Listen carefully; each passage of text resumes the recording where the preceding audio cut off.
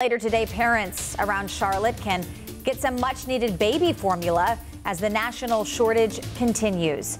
Leaders with StarMed Health tell us they will once again be handing out free baby formula to families and parents who are still struggling to find some.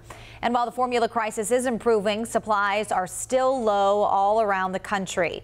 Wake Up Charlotte's Richard Devane joins us live from StarMed this morning. Richard, what do families need to know ahead of today's event? One of two things the two locations where this formula is given out.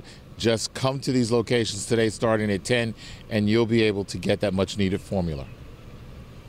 As the baby formula crisis continues to slowly improve there is still a shortage and worried parents. It's gone beyond going to the store because at this point we know that there's none. I mean, we've tried every store and every outlet that there is. Once again, StarMed will help mothers who are in desperate need to get their hands on some for their babies.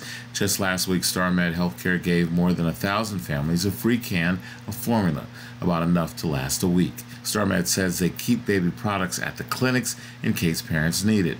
Our cameras were there when they handed out formula. Cars wrapped around the parking lot for hours just to get that week's supply. CEO Michael Estramonte says StarMed was able to buy more from a national distributor, and so they plan to do it again today at two locations, one on Tuckaseegee and one on Central Avenue. So it might turn out that the same people come through the line again, maybe less, maybe more if they were able to source it themselves. Um, we're just going to do the best we can. Yeah, and again, uh, this all starts at 10 o'clock. It's free to the public. Just come by and pick up what you need. We're here in East Charlotte. Richard Devane for Wake Up Charlotte.